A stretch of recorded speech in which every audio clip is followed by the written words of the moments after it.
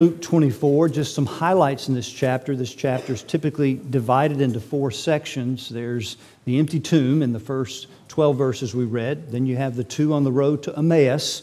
And then you have the disciples gathered together in a room, and Jesus appears to them. And then you have his ascension. So, under that title, the resurrection, I want these three headings under that title. First, the empty tomb. But secondly, which is unexpected, the hopeless road. And then, thirdly, what's unexpected, the fearful room. Because John 20 tells us that they are assembled for fear and the door is locked for fear of the Jews. So, an empty tomb, and then unexpectedly, a hopeless road, and then unexpectedly, a fearful room. What did Jesus say to give them hope?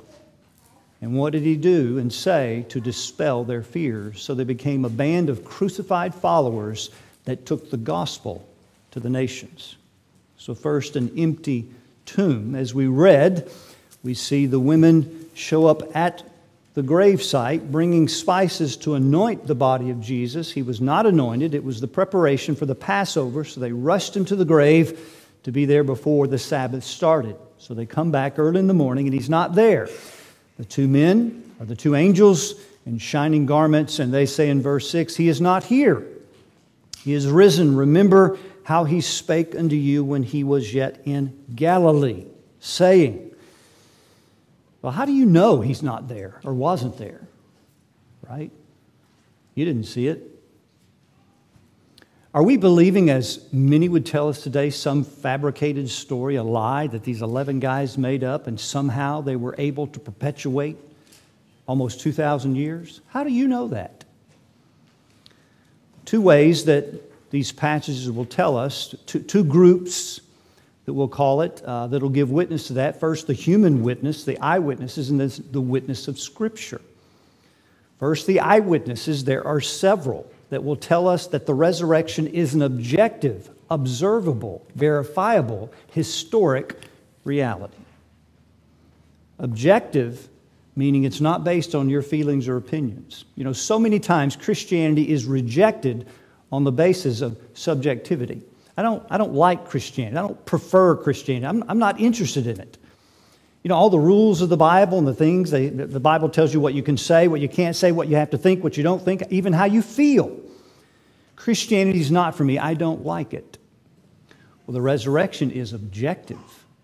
So set, set aside what you don't like about Christianity and let's talk about the objective reality. It has nothing to do with how you feel, it has nothing to do about your opinions. It has nothing to do with your interests, your preferences. It is an objective reality that was observed by many eyewitnesses. First, women.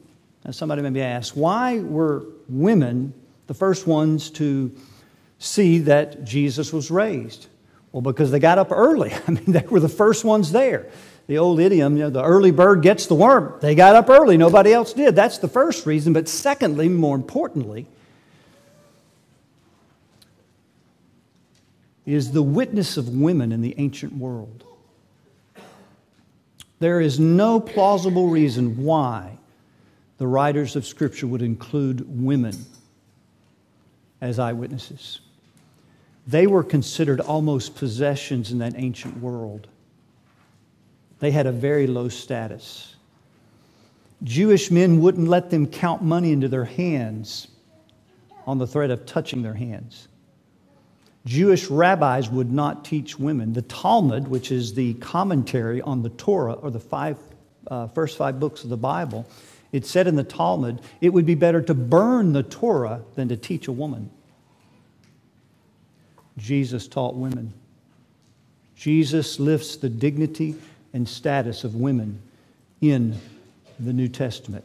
And furthermore, in a Roman court or a Jewish court, the testimony of women was inadmissible evidence. They could not testify because they were considered unreliable and even liars. Not that that was true, you understand. This was their status in the ancient world. Now, here's the question If you were going to fabricate a story, a legend, a lie, The one thing you would not do is put into that legend people that nobody believed. Unless, of course, it's absolutely true. What motivation did Luke have? What motivation did any of the gospel writers have to put women as witnesses? None. It would have destroyed the reliability, it would have destroyed the credibility, not because women were actually unreliable. That was the entire mindset of the ancient world. And here they're the first ones on the scene because it's true. And here we are over 2,000 years later. Next, we find Cleopas and the unnamed disciple, then the 11. And then Paul tells us in 1 Corinthians 15 there were 500 people, then James, then Paul. And of course, that's not necessarily order. Jesus made many different appearings, uh, and many saw the empty tomb over that 40 day period. 500 people at one time, Paul would say. Now, Paul wrote that some 20 plus years after the resurrection. Some had died, but many were still alive. Now, imagine 500 people available to you for 20 years. Some died off. What's Paul saying? Go ask them. Verifiable. proven. Why does he say Mary Magdalene, Mary the mother of James and Joanna with the rest of the women? Go ask them. Why does he name Cleopas? Go ask him. Imagine that many witnesses for 20 years. Any journalist that wanted to investigate the resurrection, they just had to go ask multiple people, and they would have gotten the same story again and again and again. I saw him. Were they hallucinating? Could that many people hallucinate the same exact vision? No. Nor were they lying, beloved. God has given us strong testimony from eyewitness accounts. Then there's Paul. Then there's expert witness. You know, in our day's culture, whenever you want to really nail a case, you bring in a medical expert, expert or forensic expert. Well, they bring in a death expert. Matthew tells us the Roman centurion, when Pilate asked, when Joseph of Arimathea and Nicodemus came to get the body, they said, Is he dead? He's dead. Now, when a centurion said a man was dead on the cross because he was an expert in death, and that's why he didn't break the legs of the Lord Jesus Christ because of prophecy, Psalm 22, and because he was dead. So, death expert comes into the courtroom and says, No, no, I guarantee you, he was dead. He was buried. He rose from the dead. And then there's the martyrs. Many of the apostles were martyrs. Now, it's true men have taken their own lives for a lie that they believed was true. But tell me, who will give themselves in death for a lie that they know is a lie? No one, unless, of course, something is not right in their thinking. If the apostles made this story up, fabricated it, and lied and passed it down, then they were dying and putting their heads on the chopping block for a lie that they knew were a lie, was a lie. Even Muslims in our day have to admit, and they have in writing, that that was very unlikely for someone to do such a thing. And then, beloved, you have the church for 2,000 years. Is it plausible that a fabricated legend, a lie, could produce such a movement across the planet that has lasted over 2,000 years? I think not. Jesus Christ is risen from the dead, and we have observable, it was observed, objective, it doesn't matter how you feel about it. What are you going to do with the tomb? You say, Well, I don't like this, I don't like that. It doesn't matter. What are you going to do with the objective, observable, verifiable, historical, non religious writings like Josephus said and wrote that Christians believed in the resurrection? It's reality. Now, in a culture where reality is no longer reality, and in the culture of expressive individuals, where at the core of your being, the authentic self is what you want to be, not objectively what you really are, then there's going to be approach to Christianity that says, well, I, I don't like that. It, it, it, doesn't, it doesn't interest me.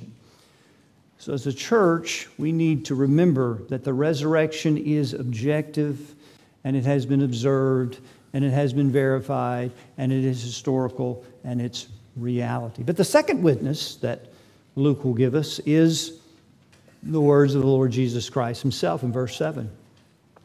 So we have human witnesses, eyewitnesses, and now we have the witness of Scripture saying, The Son of Man must be delivered into the hands of sinful men and be crucified, and the third day rise again. So we could, we could insert the word must at every point. He must be delivered, he must be crucified, and he must rise the third day. The word must means of necessity. Why must he die? Well, somebody says, well, he must die for sinful man, for which I would disagree.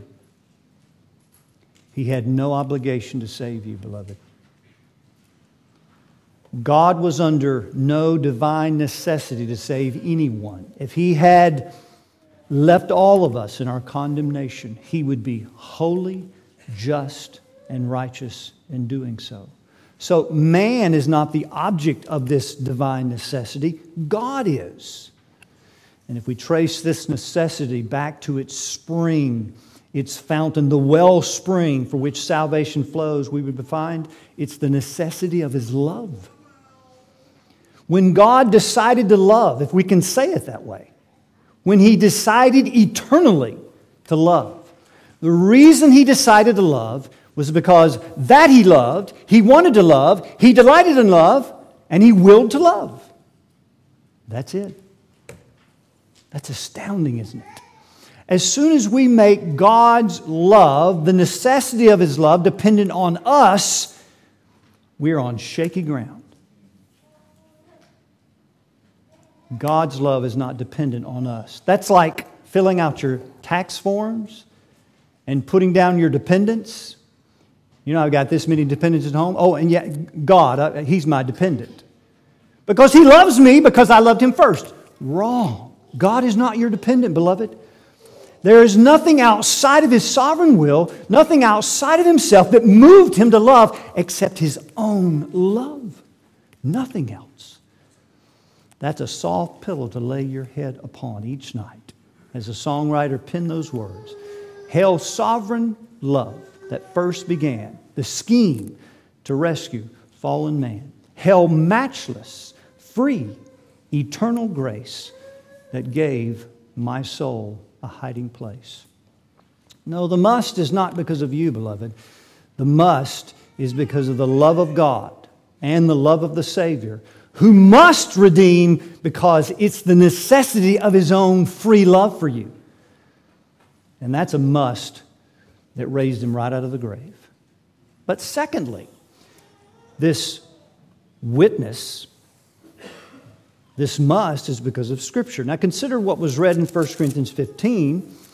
And we know that Jesus, when he said these words in Galilee, which the angels referred to, and they said, Remember that he spoke these words when he was yet in Galilee. What he was speaking was scripture about himself. And Paul makes this clear in 1 Corinthians 15. And I'll turn there. He says there, Moreover, brethren, I declare unto you the gospel which I preached unto you. Verse 1 which also you have received and wherein you stand. The word stand there means something that's completed in the past, it's never repeated. That's a perfect tense word.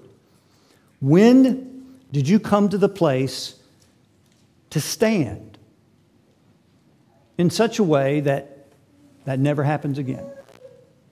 Well, Paul tells us in Romans 5:1, therefore being justified by faith, we have peace with God through our Lord Jesus Christ, in whom also we have access by faith into this grace wherein we stand. Same, same tense there. A completed action. When you were born again and effectually called by the gospel and came to faith in Christ, you were united to Christ, you were justified personally. The blood of Christ the grace of the Lord Jesus Christ, which is the foundation of justification, became yours at the time you believed it. You are not justified by your faithfulness. You are not justified by your prayer life. You're not justified by your obedience. You're not justified by your works. You're not justified by how much you read the Bible. You're not justified by being good. You are justified by receiving the righteousness of Jesus Christ. Faith is the hand that receives the gold of the gospel and just rest in it. Then Paul says, by which also you are being saved if you keep in memory or hold fast what I preached unto you, unless you believed in vain. So the faith that receives the goal and justification that's never repeated has an ongoing result, which is God now is saving you by the same faith, or He's making you holy. He's sanctifying you. Being sanctified does not contribute to your right standing before God, it is the fruit of having been justified. Sanctification is not the repetition or the, the continuation of being justified, that's finished. Your sanctification is the fruit that you have a right standing with God. So Paul says if you, if you hold fast to the gold of the gospel, and why does he say that? Because God will hold you fast. We sing that, don't we? He will hold me fast. The perseverance of the saints is nothing more and nothing less than the preserving grace of God that's holding on to you. And the fruit of that holding is what? You hold to the gospel. Even if you've let it go at times, God comes and rescues and holds you fast. Now, at the church at Corinth, some were denying the resurrection. So here's the point that Paul wants to make with those words that we just talked about. Verse 3 because I delivered unto you, first of all, that which I also received, how that Christ died for our sins according to the Scriptures. All right, what testimony are we talking about? Scripture. In verse 7, when the angel said, The Son of Man must be delivered, the hands of sinful men, crucified, raised again the third day, Paul is going to use almost the same words and say it was according to Scripture. He died for our sins according to the Scriptures. He was buried and he rose again from the dead the third day according to the scriptures. The scriptures. The resurrection is not something tacked onto the gospel as something unnecessary. The resurrection is a necessity in order for us to be saved. The law required two things penalty for lawbreakers but it demanded righteousness. So, two things. We often talk about the substitutionary atonement of Christ, but the resurrection is proof that he lived for us. You see, Jesus didn't just have to die for you, he had to live for you. And he did so.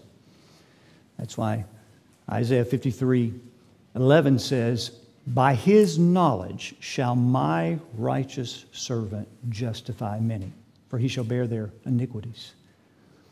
Why is knowledge require, required to justify sinners? What has to be known? What does the law require? The law requires that God be loved, that he be treasured, that he be honored, that he be valued for the God that he is, and that neighbor is loved as a fruit of that love. How do you love someone you do not know? So Isaiah 53:11 is telling us that by his knowledge, that is the knowledge of the coming Messiah, he would so know God supremely as a treasure. He would know every square inch of his eternality. He would know everything to know about God because he is God. And through that knowledge, he would love God so supremely and love his neighbor as himself that he would justify many. And so the resurrection is God's seal and stamp of Christ's righteousness or that he lived for you. He lived for you. His whole life was for you, not just his death, from his birth and his ministry and everything he did. He was living righteously on your behalf. And so he died for our sins. He took upon himself our sin, the wrath of God, and bore the penalty of the law and now he was rewarded. The reward of the law for righteousness. What's that? To live forever. So to be in Christ, beloved, means your own resurrection. It means you will experience the reward of his righteousness because he was raised again from the dead the third day. Now, what are the implications now as we think about the testimony of Scripture? Well, Paul's point is this if you reject the resurrection, you reject the scriptural gospel. In other words, you just denied the entire Old Testament, not just a couple of passages. The word is plural. If you reject the scriptural gospel, then your faith, verse 2, is in vain. It's not real. If your faith is in vain, you're not being sanctified because you're not holding on to the gold of the gospel. You've cast it aside. If you've cast it aside, then what of your standing before God? You don't have one. That's a pretty solid argument, isn't it? To reject the gospel, to reject the resurrection, is not to reject part of the gospel, it is to reject the whole gospel and the entire Old Testament revelation about what? Jesus Christ, his coming, his death, and his resurrection. It's those very scriptures and the gospel that's transforming us that we believe about the testimony of Christ. So we see, first of all, the witness of human beings that give us objective, reliable, verifiable, it was observed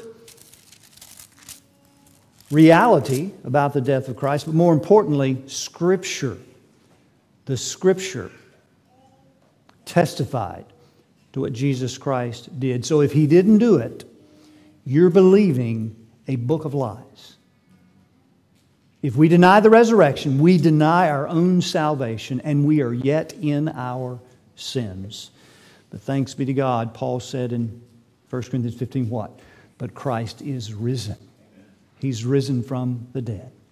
Now, with that reality, and with all those witnesses, we now turn to the hopeless road. Why were they hopeless? There's two reasons I call it a hopeless road. First, in verse 17, what Jesus said when he joined these two, Cleopas and an unnamed disciple on the road to Emmaus, and says in verse 16, their eyes were holden that they should not know him. They were restrained. In Mark 16, it says he appeared in another form. I don't take that to mean a non human form. It's just maybe he changed his face to look like another man. He didn't have some hoodie on where they couldn't see him. They looked at his face and they could not tell it was him because his form had been transformed. He looked like another man. So their eyes were withholden. And he says, What communications are these that you have one to another as you walk and are sad, gloomy, disappointed? Hopeless. They had lost hope. And they begin to speak to Jesus and say, haven't, haven't you heard all the things that have happened? And then in verse 21 is the next reason I'm calling this a hopeless road because they said, But we trusted that it had been He which should have redeemed Israel. The word trusted is elpizo, which is often translated hope. We were hoping, and we are sad we are disappointed because what we were hoping he would do, he didn't. That's the hopeless road. Do you ever walk a hopeless road because you've lost sight of the resurrection of Jesus Christ and what it means both now and for your future? Now, Luke, it appears, is using a literary device called dramatic irony. That's where the audience and the reader knows something about what's happening, but the characters don't. Well, clearly, we know that's Jesus. You know, we've got the insight, but they don't know that. And clearly, we know he really was raised from the dead, but they haven't embraced that yet. Now, dramatic irony often leads to humor, and you can see the humor here. Because what they do, they begin to describe the very redemption that they've rejected. And they start to tell Jesus what happened. They said the chief priests in verse 20 have delivered him to be condemned to death, and have crucified him. Verse 7 The Son of Man must be delivered into the hands of sinful men and crucified. That's redemption. Then they said in verse 21 Beside all this, to top it off, today is the third day since these things happened. Verse 7 The third day, he'll rise again. They're describing redemption, and yet they're hopeless. Then they say in verse 22 and furthermore, there are certain women also of our company made us astonished. They went early to the grave and they found not his body. And then on top of that, some of the brothers went and verified exactly what they said. No wonder Jesus said, O fools and slow of heart to believe. So let's pose two questions here. Why were they hopeless when they're describing redemption? And then what does Jesus say to give them hope? Well, you can start to see what their hope was in, what begins to emerge in verse 19 when they say to Jesus, Jesus of Nazareth, which was a prophet, powerful or mighty in deed and word before God and all the people. So, Jesus Christ, they had observed, was powerful in deeds or works or actions. What kind of deeds? Oh, he walked on water, he fed 5,000 with just a small amount of bread and fishes. He calmed the seas.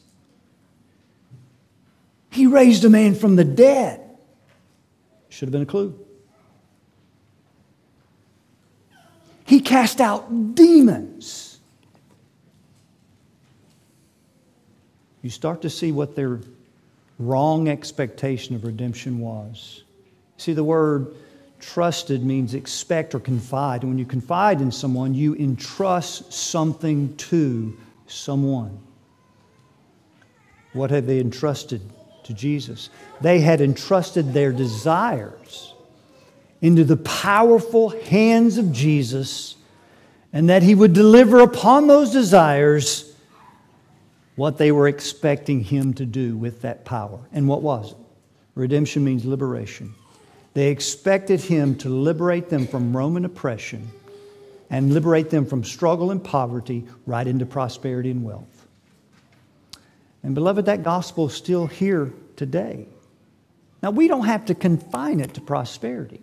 Just think about in your own life how many times you and I have expected the Messiah. We've delivered something into the Messiah's hands that we want, and we expect him to use his power, his strength, and his might because he did many mighty deeds to deliver on what we want. And when he doesn't, I find myself walking the hopeless road of sadness, gloom, disappointment, and even depression at times because I've lost sight of the redemption that Jesus came to bring. Paul would say again in 1 Corinthians 15 if in this life only we have hope in Christ, we are of all men most miserable. Why are they so miserable? Because their hope was in this life. It was what they thought Jesus was going to do in this life rather than the life to come.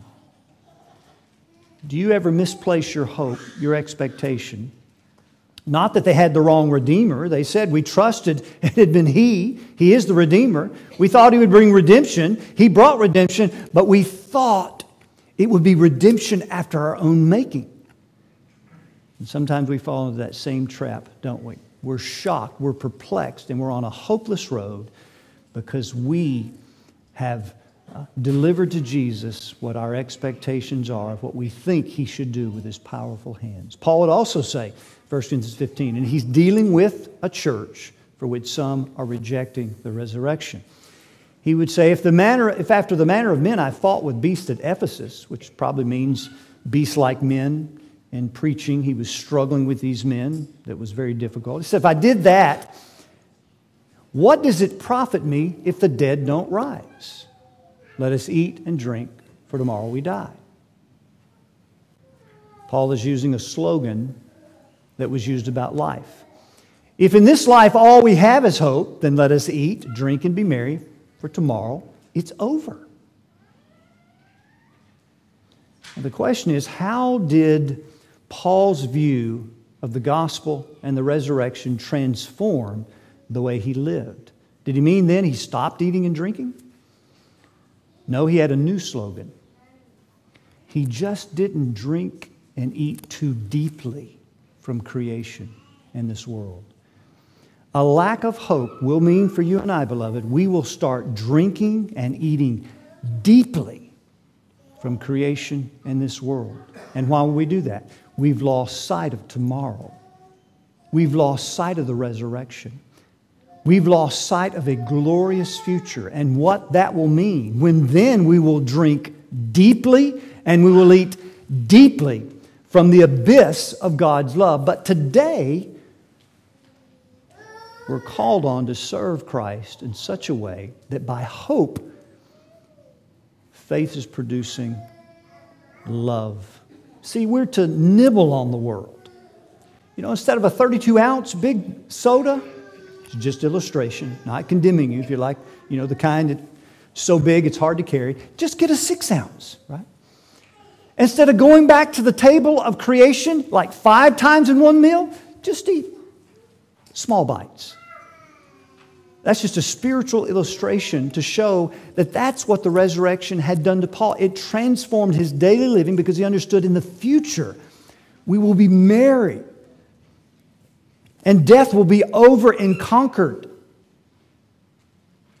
because Jesus was raised from the dead. You know, some people say it's impossible for a man to be raised from the dead, but the scripture argues just the opposite. It's impossible for that man to be held into the grave. It's impossible. Death can't hold its prey because the wages of sin is death, and that man had no sin. Therefore, death ejected Christ from the tomb just like Jonah was ejected from the whale's belly after three days. And because of that resurrection, we have the bright hope in the future that one day we will drink so deeply, we will eat so deeply, that our souls will be satisfied forever. So, beloved, let us remember the resurrection in such a way that we're not drinking too deeply. Sometimes I eat a little too deep and drink a little too much from creation, and probably you do too. But the resurrection transforms us because we understand that the glory is to come. And these disciples thought the glory should be now. It should be now. Paul would say to the church at Colossians to show how hope would transform us into people that love he would say he prayed for the Colossian church ever since he heard of their faith in the Lord Jesus Christ and their love to all the saints because of the hope they had laid up for them in heaven, whereof they had heard in the gospel of the truth of God. Because of the hope, what happened? Hope awakens and sustains faith in trial, in difficulty, and in sadness and keeps faith walking the pathway of love, love keeps happening. Why? Because hope is like that player in the huddle. When you're just getting destroyed in the game. And everybody's saying, I'm just too tired, man. This is too tough. It's not worth it. I've got cramps. I'm hurting. And that player says, Look at the scoreboard. When that buzzer goes off, we're going to be ushered into heaven forever. And then you're going to see it's worth it all. So the rest of the team in the huddle say, All right, let's go. Let's keep running. Let's keep fighting. Let's keep loving because you cannot love without hope. Faith will eventually get sluggish, it will grow cold, it will grow tired and weak. And then what will happen? A loss of hope means faith then shifts back to creation and starts drinking deeply once again. And what happens to love? Love shifts from neighbor back to me. Has that ever happened to you? What's the cure for that? The resurrection of Jesus Christ. It's keeping hope and forever in front of us, keeping joy in front of us. The resurrection doesn't eliminate all disappointments and sadness in your life, but what it does, it brings gladness in your sadness. Or as Paul said, sorrowful yet always rejoicing. He was sorrowful, he had disappointments. But as he looked to eternity, He had that joy and gladness in front of him because he saw the hope that was laid up for him by the resurrection of Jesus Christ. It can be the same for us, beloved. Without hope, eventually we will grow cold, tired, weak, and we'll let go of the gospel. We'll let it go because we found the gold drinking deeply in this world and we'll let it go. Not only did they have the wrong expectation, they had the wrong means or method of redemption. Powerful Jesus was. Powerful in word and deed. What did they expect him to do? Mount up on a white horse and call everyone that would summons up what? Their own inner strength and power to obey and follow Jesus Christ in their own strength. Throughout the New Testament, we see that's what the Jews thought. That's why Paul wrote to this very church in 1 Corinthians 15, or 1 rather. He would say, What? The Jews require a sign, the Greeks seek after foolishness. But we preach Christ crucified, unto the Jews a stumbling block, and unto the Greeks foolishness. Scandal, the Greek word scandalon, scandalous. Now, what's the sign that the Jews required? Now, Jesus gave all kinds of powerful signs, but Paul says we preach a weak Savior. Because Paul said he was crucified in weakness. We preach a Savior that says you've got to abandon your strength, your wisdom, leave it at the, check it in at the door because it'll not come into the presence of God. And what do the Jews want? A sign that would affirm the strength of their own self righteousness because they were going about to establish their own righteousness. And if you're going to establish your own righteousness, are you going to follow a man that was crucified and looks weak and says, You don't have any righteousness? No, that's going to be a stumbling block to you. If your thing is wisdom, and you follow a man that says, Look, I want you to use all your wisdom, all your ability to decide, all your intellect to follow me, you say, Okay, I'm all in. But if he says, It will not be your wisdom at all, you would say as a natural man, that's foolish. And that's what the Greek said. But of them which are called, Christ, the power of God and the wisdom of God. You see, the cross destroys boasting in ourselves and gives all the boasting to God. Because of God are you in Christ Jesus, who's made unto us our wisdom, our righteousness, our sanctification, and our redemption. As it is written, for this reason, let them that glory, glory in the Lord. So they had the wrong expectation. That's why they're hopeless. And they had the wrong view of the method of redemption. We hoped it had been him, but he's dead. Obviously, he's not the Redeemer because he died. And it was through that very death, through that weakness, that he was raised again with power. Power. Now, how did Jesus give them hope? Verse 25, O fools of slow of heart to believe all that the prophets have spoken. Ought not Christ to have suffered these things and to enter into his glory? See, the pattern of Scripture is the pattern of Christ. First we suffer, glory to come. What did they want? Glory now, get rid of the suffering. Now that's what you want too, down deep. And it's what I want too. But Paul said, I reckon that the sufferings of this present time are not worthy to be compared to the glory that shall come. So the, the pattern of the Redeemer is our pattern. Suffering now, trial, struggle, glory to come. That's why they didn't believe. So Jesus does what?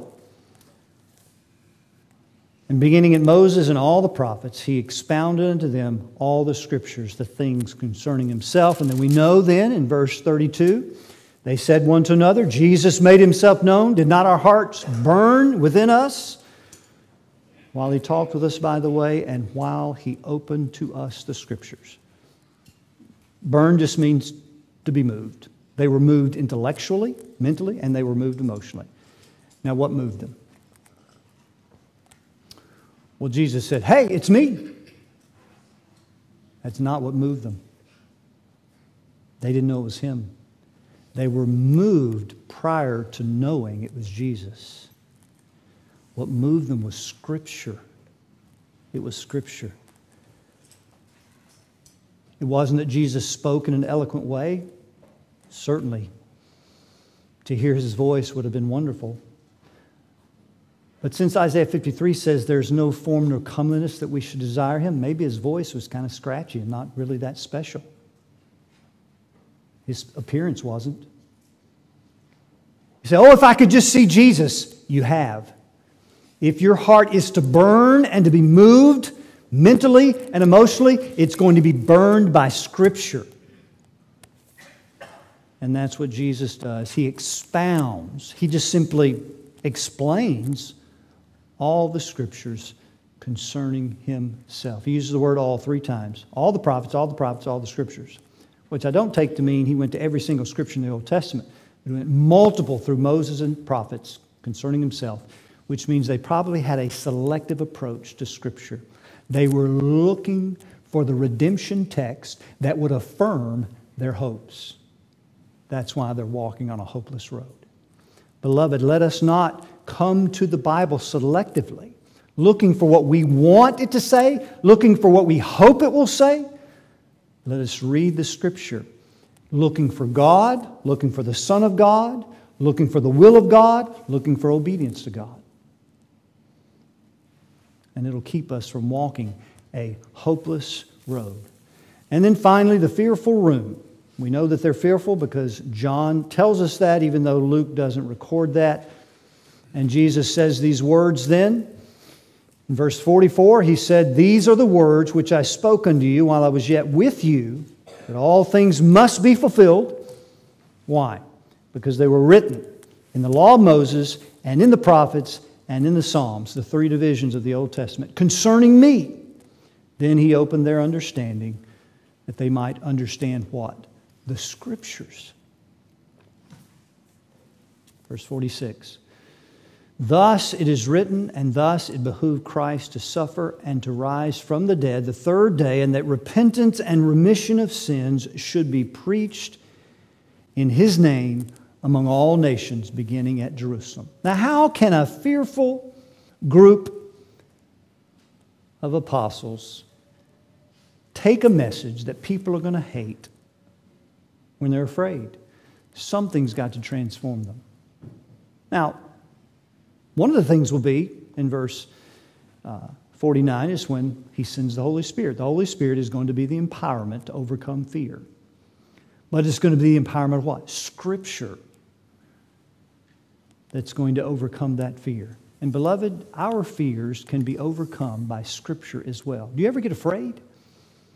You ever afraid of the future? Afraid of what might happen? anxious, worried, gripped with fear? Well, we're, we're in company with the apostles. They locked the door. They didn't want any, they were afraid. And Jesus comes and says, Hey, you're, you're the guys I've chosen. I, I know. Maybe I should have picked somebody else, but hey, you fearful guys, you're going to take this message to the nations. Beloved, the resurrection is a message for the world, for the nations.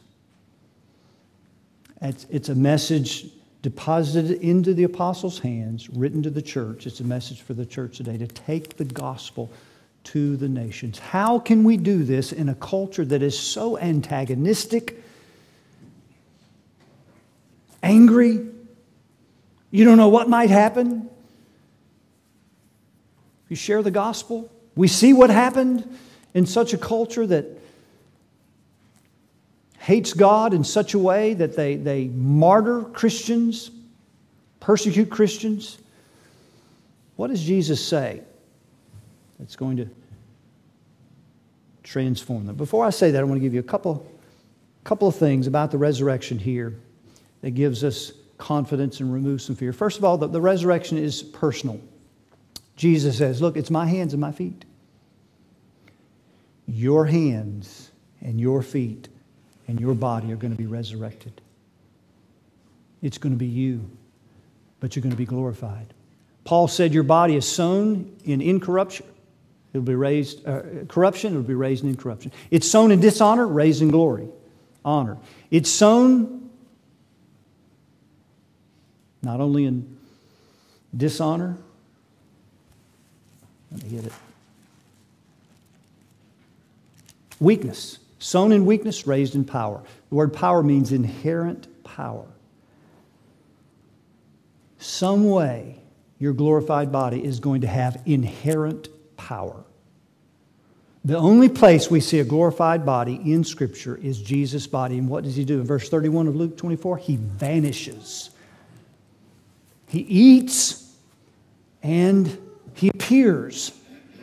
There will be some kind of inherent power that we have that will equip us not only for the enjoyment of God, both soul and body, but equip us for the economy of heaven.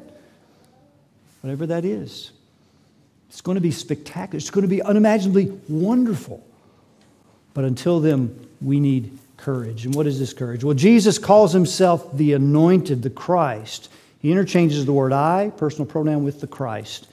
And the Christ means anointed. Now, if you go back to Psalm 2, this is mentioned throughout the scriptures, he would say, the three divisions of the Old Testament.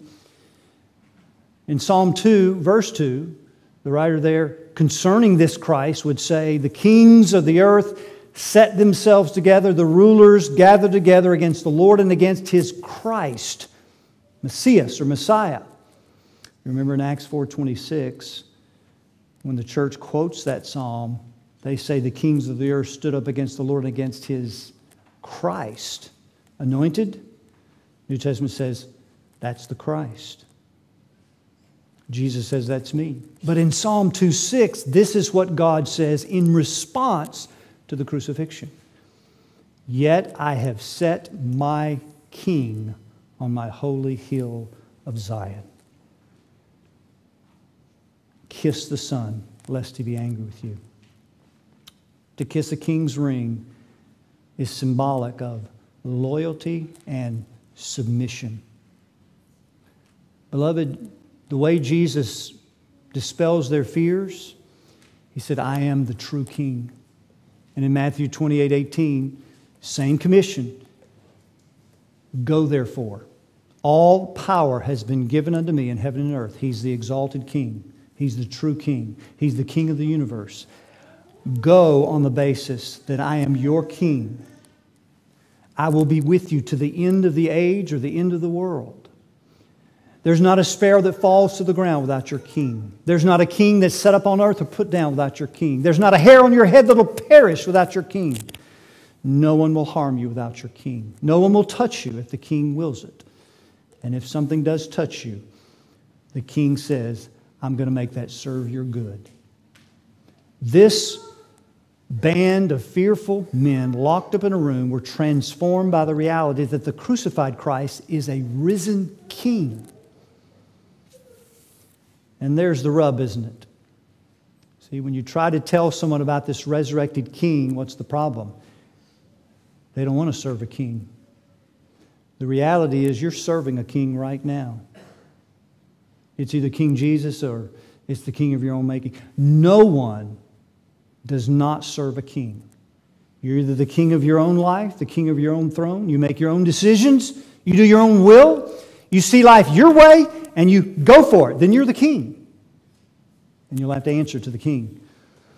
But for all those that bow down to the supremacy of this king and submit, not in order to be right, because this king's resurrection has made you right, out of that life is a life of submission, love, commitment, and joy in the risen King? Have you submitted yourself to this King? You see, here's where we come to the, to the objectivity that you've got to deal with in the empty tomb. You say, I don't like that. I don't want to bow down. He's risen, beloved.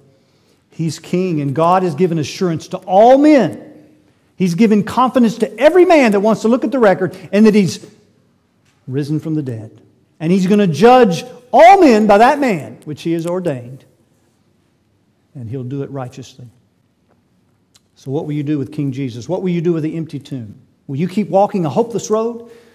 Will you keep letting fear paralyze us and you? Or will you bow in submission to a loving, powerful, wonderful King who's going to take you right into glory? May you do that today. Let's pray. Father, we love you. We thank you. We are amazed and marvel at your grace and the love of Jesus, who took upon the form of a servant, gave himself, lived his life for us, and gave his life for us. He poured out his soul unto death, not just his body, his soul. He loved us to the end, John would tell us.